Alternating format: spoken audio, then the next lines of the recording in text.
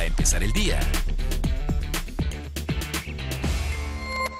Buenos días, martes 8 de junio, tiempo de la información para empezar el día con Mega Noticias. Los resultados de la jornada electoral del domingo arrojan que habrá un nuevo equilibrio de fuerzas políticas en la Cámara de Diputados, en donde a diferencia de la actual legislatura, Morena va a tener que negociar con los partidos de oposición. En cuanto a la contienda de los estados, el partido Movimiento Regeneración Nacional ganó 11 de las 15 entidades en juego y 7 de las 16 alcaldías en la Ciudad de México.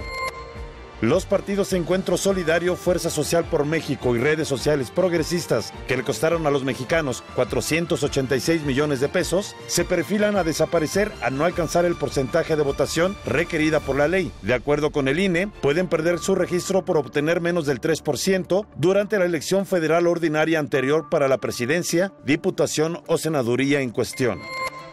La llamada Ley Saldívar es oficial. El diario oficial de la Federación publicó el decreto por el que se expide la ley orgánica del Poder Judicial de la Federación, en la que se establece la ampliación de mandato hasta el 2024 del presidente ministro de la Suprema Corte de Justicia de la Nación, Arturo Saldívar. Desde su aprobación en el Congreso, esta reforma fue cuestionada por la oposición, calificándola como un acto inconstitucional.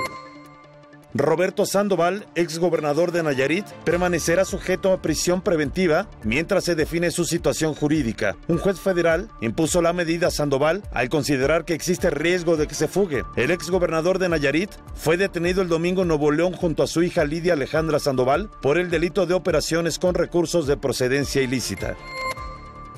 La CEP informó que a nivel nacional regresaron a clases presenciales más de 1.600.000 alumnos de 24.000 escuelas de nivel básico a superior y casi 260.000 maestros. En la Ciudad de México, 1.103 planteles de educación preescolar, primaria y secundaria abrieron sus puertas. Sin embargo, la mayoría de las escuelas públicas y privadas en la capital del país decidieron postergar el regreso presencial hasta el siguiente ciclo escolar. Usted ya está informado para empezar el día con Mega Noticias para empezar el día.